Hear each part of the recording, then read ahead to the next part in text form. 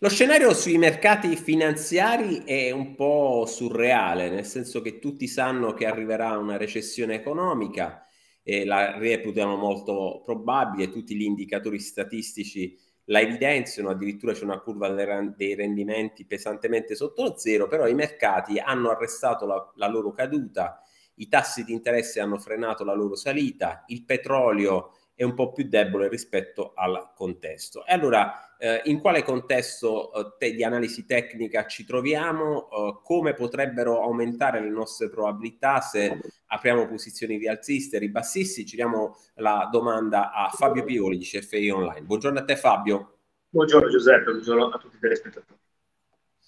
Allora Fabio, in quale contesto di analisi tecnica ci troviamo? Il trend qual è? Ieri tra l'altro sul DAX per la prima volta dopo diverse settimane si è visto una seduta al rialzo con una serie di volumi abbastanza intensa.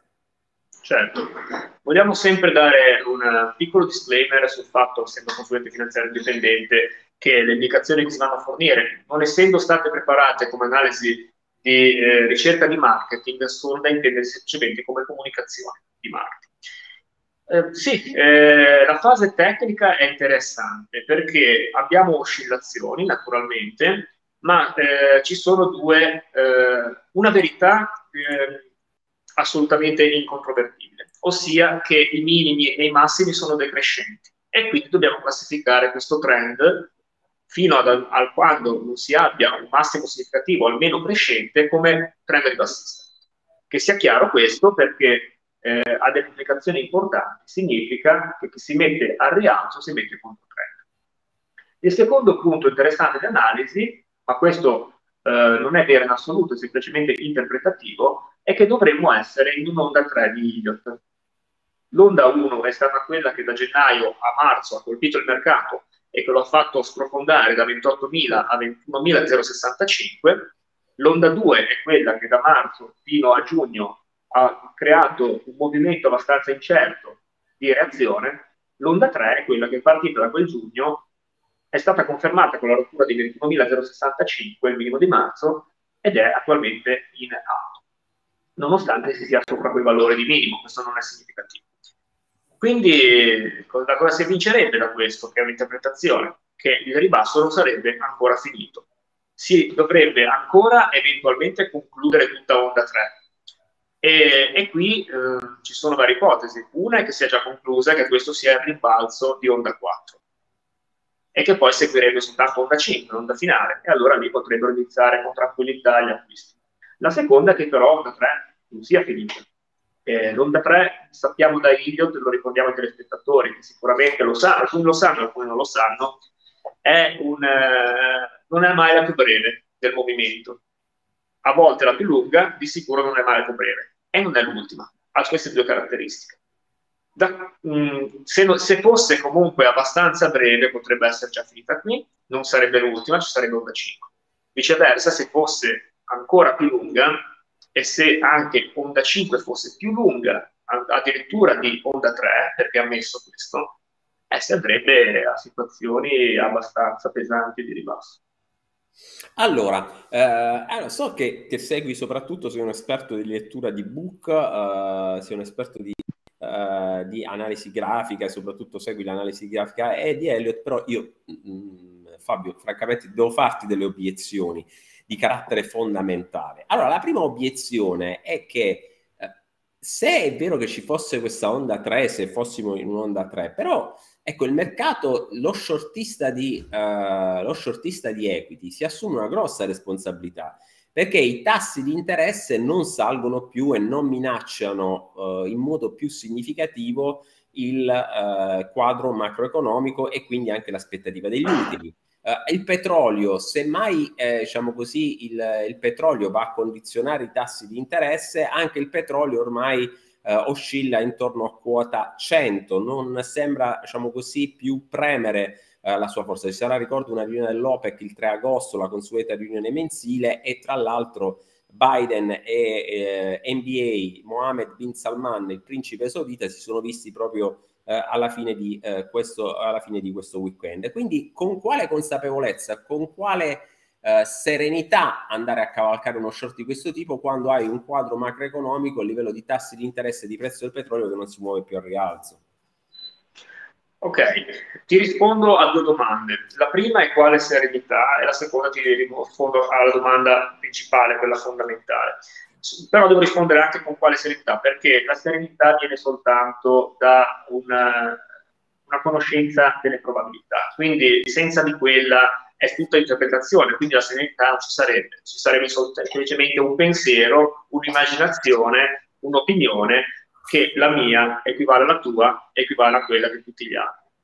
Eh, mentre dal punto di vista eh, fondamentale, naturalmente tu sei uno dei più grandi giornalisti finanziari in Italia e sai bene le cose, io posso smettere il mio punto di vista di trader come trader ho imparato nel corso degli anni che eh, le situazioni anomale fanno parte del contesto dei mercati finanziari. Quindi quello che non ci immaginiamo mai che possa succedere, iperinflazione, tassi al 12%, 15%, accade non spesso, perché è la parola sbagliata, ma accade sempre in un certo senso, sempre un episodio diverso, ma sempre un episodio acuto, un episodio che eh, non era previsto. Eh, io lo metto assolutamente in, uh, nel bilancio questa cosa.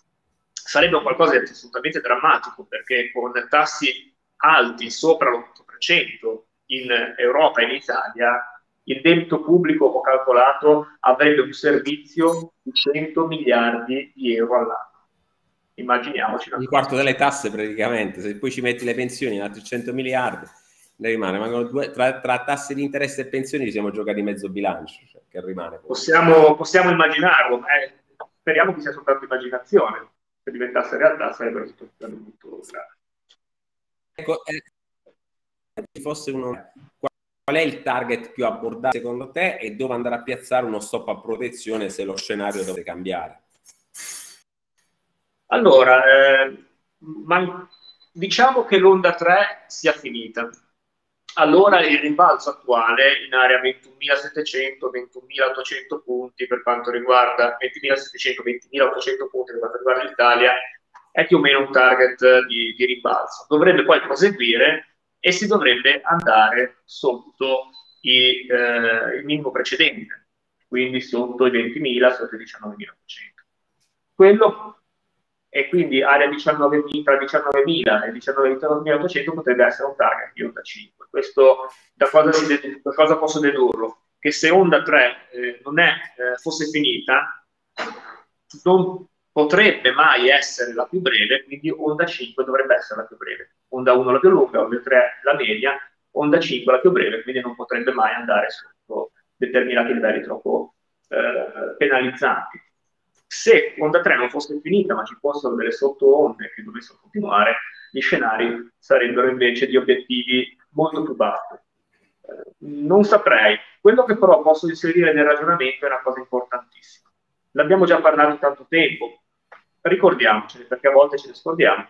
C'è una letteralizzazione che va avanti dal 2008 per quanto riguarda l'Italia, un laterale tremendo che va da 25.000 a 12.000 punti e che ha fatto questi estremi varie volte nel corso di questi 12 anni. Questo è un laterale e l'analisi tecnica dice che quando si esce dal laterale ci si proietta al ribasso. E questo è il grosso pericolo, perché se la, eh, l'uscita che ha portato sopra i 25.000 punti fosse una falsa uscita, sarebbe ancora più grave, perché dopo una falsa uscita si potrebbe partire all'ingiù dalla parte opposta. Senti, una domanda però di attualità te la devo fare, non ti voglio trascinare nell'agone eh, della, della, della politica, però diciamo così, la, non possiamo vivere al di fuori di quelle che sono le notizie che stanno in questo momento battendo tutte le agenzie, insomma, e, e che stanno imperversando su tutti i media. Un Draghi, cioè in tutto questo un supporto Draghi c'è o non c'è possibile che non, non riesce a, non, non, sarebbe una diga, diciamo così, Draghi alla caduta del, del Fuzimib?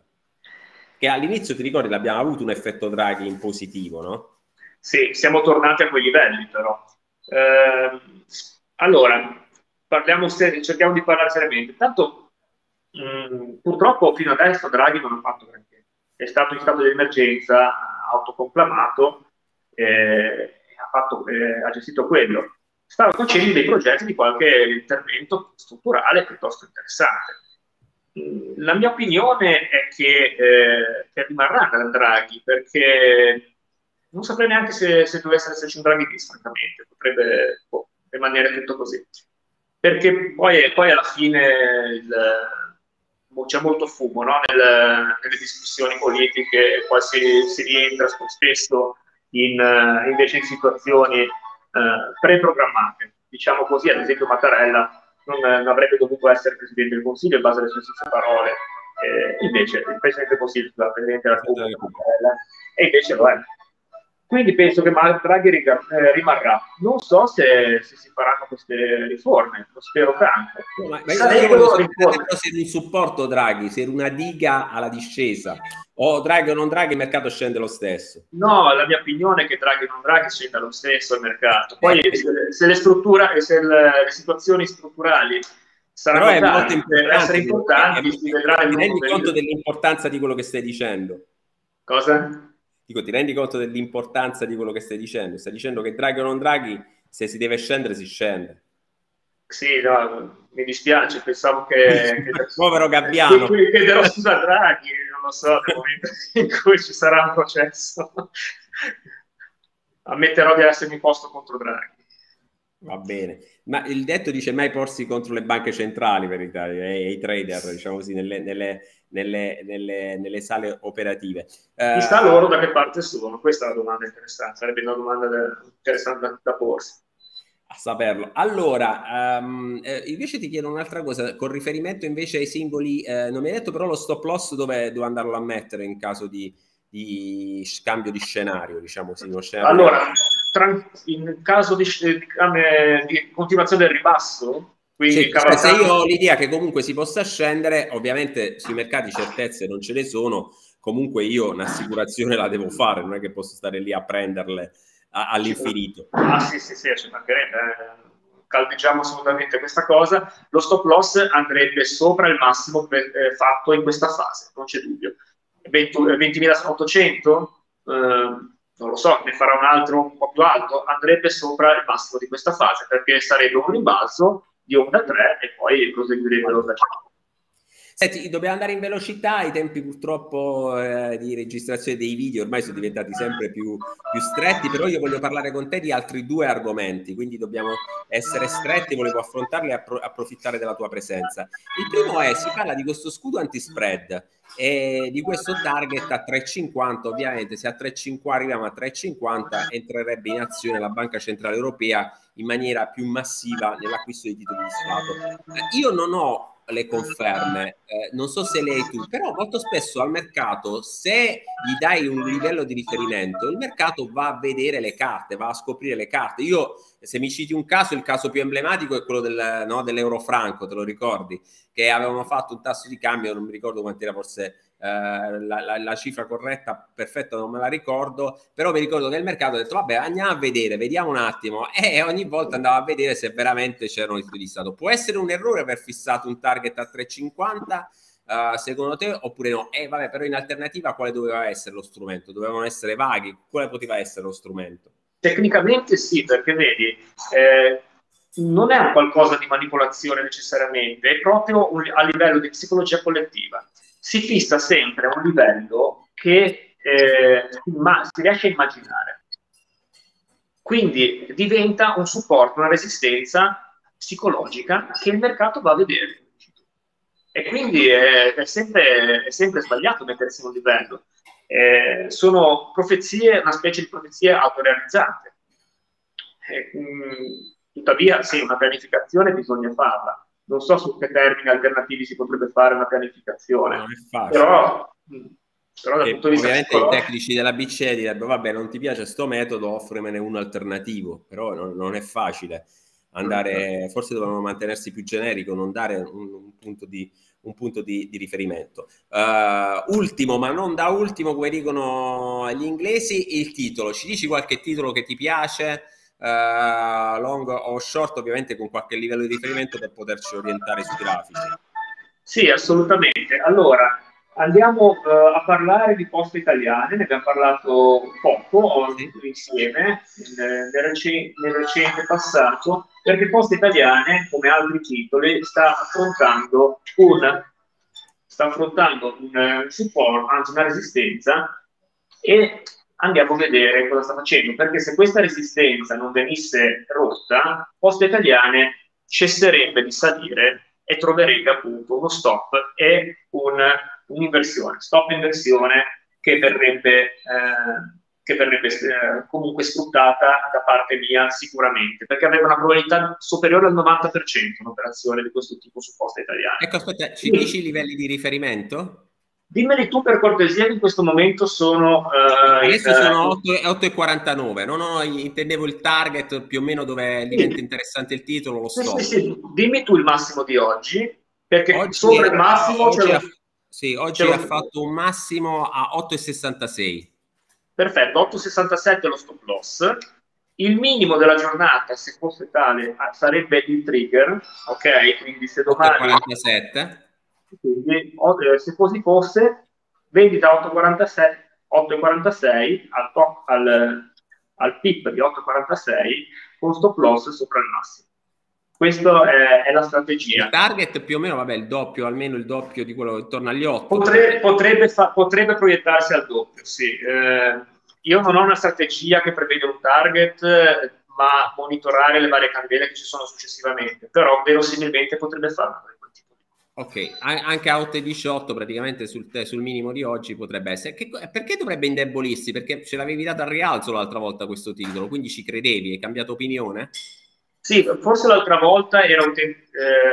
Però non è entrato, non è entrato. Eh, forse l'altra volta non era entrato. No, Adesso no, non mi ricordo precisamente, sono state anche le operazioni che sono era, entrate. Ma... Era, il livello era molto alto, era sui massimi precedenti più o meno. L'ingresso non li ha mai fatti, poi è, è, entrato, è sceso. Quindi ma non è mai adesso entrato. il motivo è molto semplice, Giuseppe. Eh, vedi quella linea che, con, con, eh, che congiunge i massimi, quella è una linea di resistenza eh, è una risa di resistenza alla quale il titolo in tre giorni è arrivato. Se non dovesse superarla, semplicemente sarebbe il punto in cui troverebbe delle vendite e riprenderebbe il trend negativo. Perfetto, eh, perfetto, perfetto, perfetto. Uh, va bene, grazie per essere stato con noi Fabio, grazie ancora. Grazie, grazie a voi. Grazie. Con te, ricordiamo Fabio Pioli uno dei migliori swing trader che abbiamo in Italia. Grazie ancora, io vi ricordo che questo video lo potete vedere sulla pagina di Traderlink nella sezione video oppure più comodamente nella sezione YouTube vi eh, registrate al canale così sarete allertati per altri video in cui anche ci sarà Fabio Pioli. Grazie ancora, grazie ancora Fabio. Grazie, grazie buona giornata.